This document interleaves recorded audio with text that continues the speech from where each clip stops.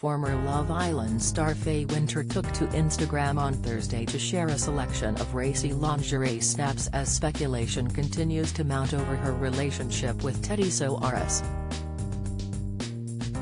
Faye looked stunning in the see-through pink lingerie as she posed on a luxurious bed. She captioned the two pictures, Let's all take a bow this Valentine's as she showcased the Lovehoney designs. Among those taking to the comments section to gush over the 27-year-old's appearance were fellow Love Island alumni Tasha Ghouri and Paige Thorne, as well as presenter Lisa Snowdon. The snaps come just days after Faye sparked speculation about her relationship with Teddy in another lingerie upload.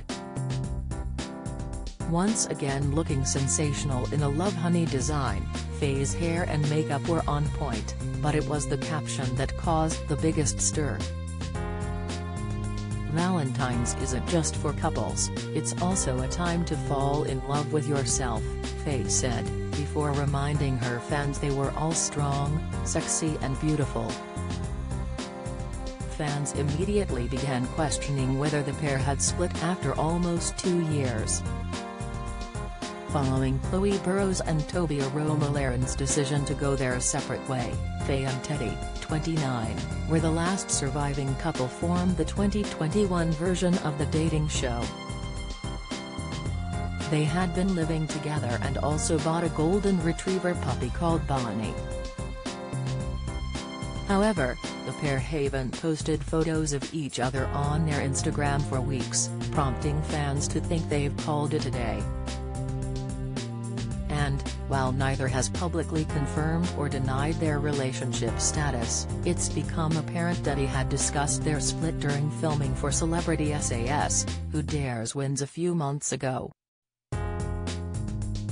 He is thought to have confided in his famous co-stars about his troubles with Faye. The SAS cast were quite surprised during filming as Teddy really opened up about how things between him and Faye weren't good and he was going to end things when he got back from shooting the show, a source told The Sun.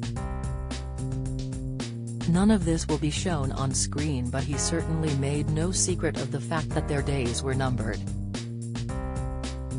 No one in the cast was surprised, therefore, when the pair confirmed their split as they knew it had been coming for months and, if anything, were expecting it three months ago.